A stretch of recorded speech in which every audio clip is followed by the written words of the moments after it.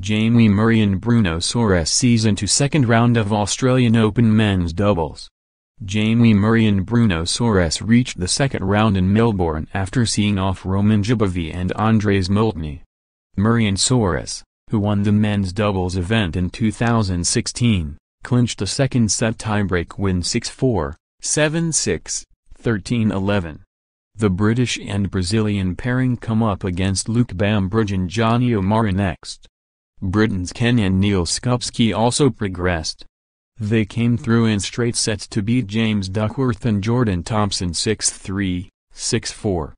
Next up for them in the second round are Finland's Henri Kontinen and Australian John Peers.